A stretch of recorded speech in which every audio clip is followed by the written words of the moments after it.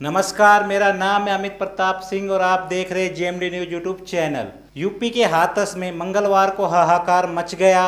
विश्व हरि उर्फ़ सूरजपाल बाबा के सत्संग में भगदड़ मच गई। भगदड़ भी ऐसी देखते ही देखते लाशों का अंबार लग गया। हाथरस सत्संग कांड में अभी तक 120 से ज़्यादा लोगों की मौतें हो चुकी हैं, जिसमें ज़्यादातर महिलाएँ, बुज़ुर्ग और बच्चे शामिल हैं। मीडिया रिपोर्ट्स के अनुसार, इस कांड में 114 महिलाओं की और सात पुरुषों की मौत हो चुकी है। मरने वाले सभी लोग सत्संग में भोले बाबा का प्रवचन सुनने आए थे। हाथरस की इस घटना ने सबको झकझोर दिया है। अस्पताल के बाहर लाशों के ढेर पड़े हुए हैं। रोते बिलखते परिजन हैं। मगर हाथरस में मौत का सत्संग कराने वाला भोले बाबा अपने फॉलोअर्स को देखने तक नहीं आया। वह पुलिस को लगातार चकमा दे रहा है। अब सूरजपाल उर्फ़ भोले बाबा की एक और करतूत सामने आई है।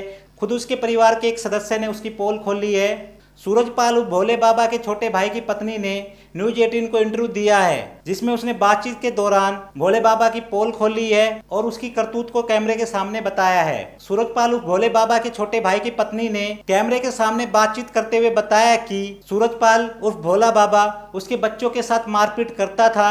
बाबा के छोटे भाई की पत्नी ने बताया कि एक बार बाबा ने उसके बच्चों के साथ मारपीट की थी, जिसका मामला थाने में भी पहुँचा था। जिसके बाद से बाबा के छोटे भाई के परिवार ने बाबा से दूरी बना ली थी। यहाँ तक कि सूरजपाल उर्फ़ भोला बाबा अपने छोटे भाई की मौत में भी नहीं गया था। सूरजपाल के छोटे भाई की पत्नी ने आगे कहा कि, वह परिवार के किसी भी सदस्य की मौत पे नहीं आया था। हमारे परिवार का उससे कोई लेना देना नहीं है।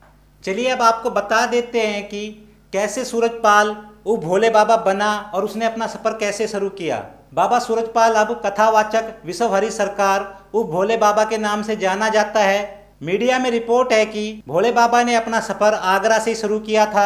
आगरा से सूरजपाल की विश्व हरि सरकार उर्फ़ भोले बाबा बनने का सफ़र शुरू हुआ था। सूरजपाल अपने परिवार के साथ आगरा के केदार नगर में रहता था और उसने धीरे धीरे सफ़ेद कपड़े पहनकर अपनी पहचान बनाई। फिर आसपास की महिलाओं के लिए वह बाबा बन गया।